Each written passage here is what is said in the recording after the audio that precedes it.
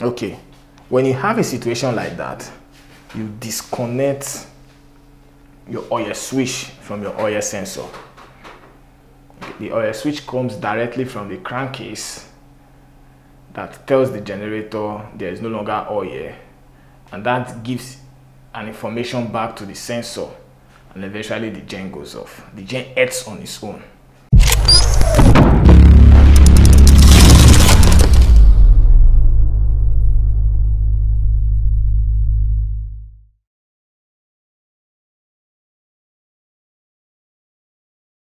Hey guys, welcome to another exciting time on this channel, Benco is Technical Studies.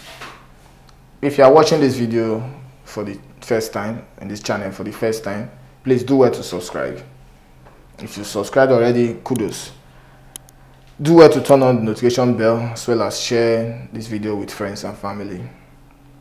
Also drop your comments via the comment section so we can interact. Alright, on today's class we'll be looking at this generator LMS generator HSG2900DX series um, powered by Honda made in Japan. Okay that means it's a Japanese engine you get. All right on today's class we will be looking at something very technical. When I mean technical it's just not the it's not just um, repair fix repair fix kind of video or kind of a teaching. It's going to be a teaching that uh, goes beyond that a little. Okay.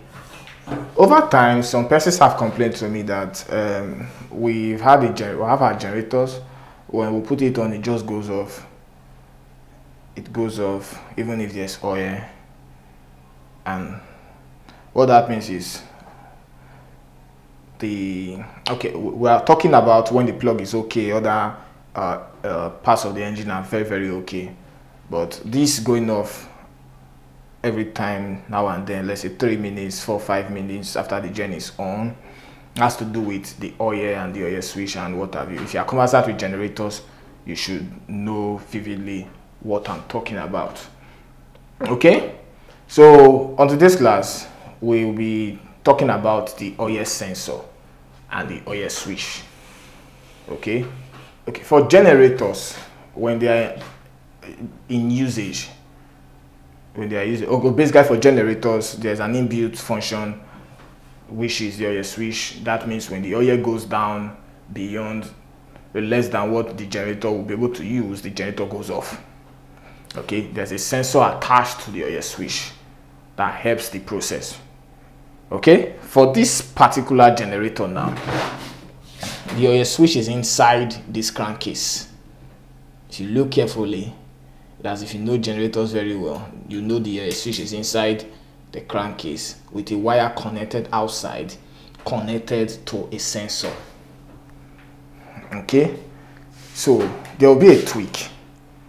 When your sensor is bad you will actually think your oil is bad or you actually think your oil is dried up in the generator and you need to top up. And when eventually when you top up it still gives the same issue. So what do you do at that particular point? That is where this topic or this class is headed towards. Okay. When you have a situation like that you disconnect your oil switch from your oil sensor.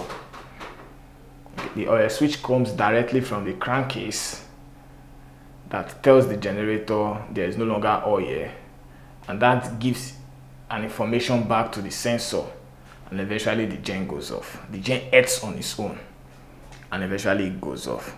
So when your oil sensor is bad it gives the same function like there is no oil so what do you do at that point? You disconnect. Okay. This is a simple method. You see this wire?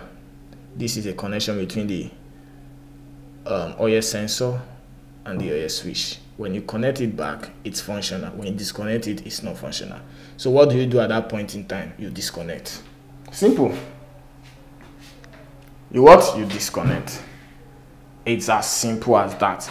So therefore when you find your engine with oil in it and still give you the off sign the going off sign at regular intervals even after the gen is on then that should tell you the oil sensor is bad what do you do at that point in time before a technician comes in to look at your gen? You disconnect. When it's connected you disconnect. All right. That is it. But i will say something before the end of this class right now. Before you disconnect this make sure there's oil in your generator.